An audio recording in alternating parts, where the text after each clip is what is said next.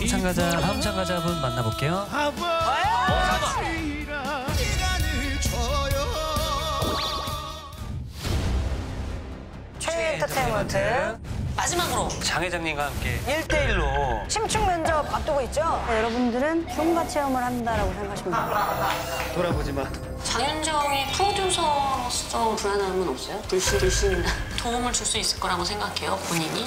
어, 훤히 뚫어다 봐요. 아 무서워.